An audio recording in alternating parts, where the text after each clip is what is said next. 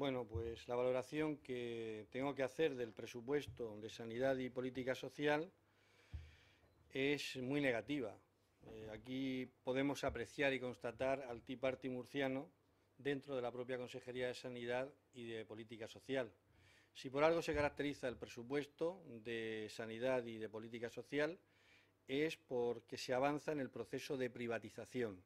La subida del conjunto de la Consejería es aparente, no es real, ya que hay bajadas en la mayoría de los, de los ámbitos, en la mayoría de los capítulos, particularmente en el capítulo 1, en el Servicio Murciano de Salud, hay bajadas significativas, lo cual se va a traducir inexorablemente en perjuicio asistencial para el conjunto de la población de, la región de Murcia.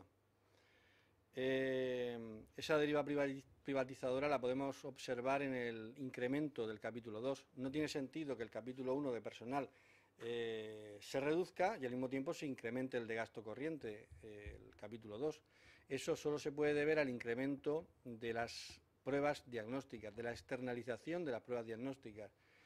En consecuencia, pues eh, esa es la demostración clara. En el caso concreto del Servicio Murciano de Salud podemos observar también esa orientación privatizadora, toda vez que se está eliminando, cerrando residencias públicas y se está mm, creando, ampliando el ámbito de los conciertos de plazas en residencias privadas. Por tanto, hay una deriva también privatizadora en este, en este ámbito concretamente. La consejería, como sabéis, se divide fundamentalmente en tres partes. La consejería propiamente dicha, que son 70 millones de euros, donde se abarcan distintas direcciones generales. Por otra parte, el Servicio Murciano de Salud y luego el, el IMAS, el Instituto de Acción Social y bueno, también la famosa Fundación de Investigación, de Investigación Sanitaria, de la cual tampoco tenemos eh, mm, información acerca del resultado de, la, de, esa fundación y sí que vamos a demandar información sobre los resultados con el fin de poder evaluarlos.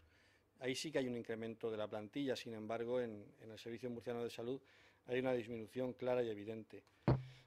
Mm, observamos cómo en, todo, lo que hace referencia a la prevención y promoción de la salud hay una reducción significativa.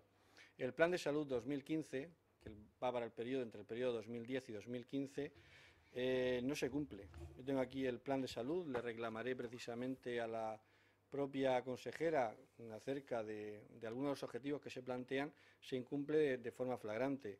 No hay una apuesta decidida. Se habla de programas de prevención de cáncer de colon, de mama y de recto con una dotación escasísima y además sin individualizar, 450.000 euros. U otras que tienen que ver con promoción y prevención de la salud, prevención del tabaquismo, educación para la salud en la escuela, algo fundamental, plan regional de SIDA. ¿Saben qué cantidad tiene? Tan solo 100.000 euros, una cantidad totalmente, totalmente ridícula sí que se apuesta por primera vez y de una forma genérica y sin especificar cómo se va a desarrollar un plan de lucha contra la pobreza para el año 2014.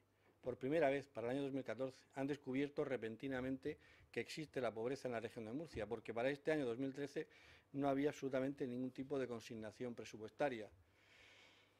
Tampoco se plantean consignaciones eh, presupuestarias eh, para todo lo que tiene que ver con la lucha contra la exclusión social. Aquí lo que se cuantifica pues, son cantidades realmente ridículas.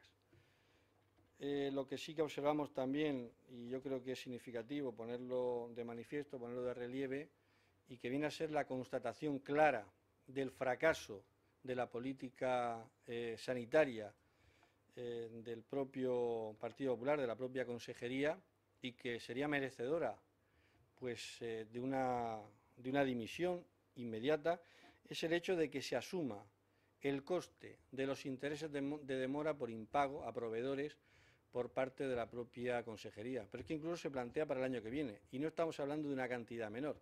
Es decir, como consecuencia del retraso en el pago a proveedores, vamos a tener que pagar todos los ciudadanos de la región de Murcia 3 millones de euros, que conozcamos, 3 millones de euros. La factura farmacéutica tampoco se reduce, otro coste eh, significativo. Y se habla de que bueno, las reducciones que se han producido últimamente, pues se van a gloria de ello la consejería cuando en realidad son debidas fundamentalmente al repago que el conjunto de, ciudadanos pues realizan, de pensionistas fundamental, fundamentalmente, pero no hay eh, un recorte significativo y lo que pueda haber de control del gasto farmacéutico se debe precisamente esa fórmula del repago. Claro, si entre todos pagamos, pues el problema empieza a controlarse algo, pero esa no es sin duda alguna la solución que nosotros eh, creemos que sería la más, la más adecuada.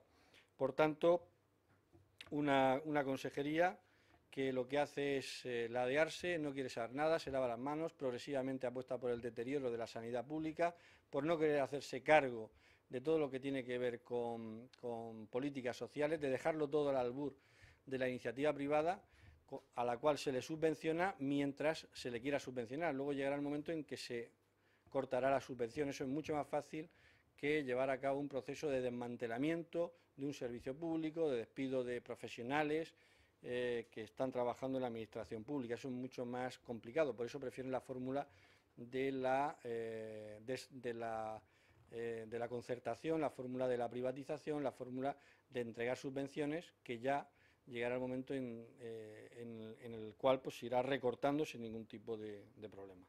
Pues básicamente esa es la parte, la parte significativa de la intervención que voy a llevar a cabo en la, en la, en la comparecencia que a continuación se va a producir, junto con un conjunto de preguntas eh, concretas que le voy a formular también a la consejera. ¿De acuerdo? Pues muchas gracias.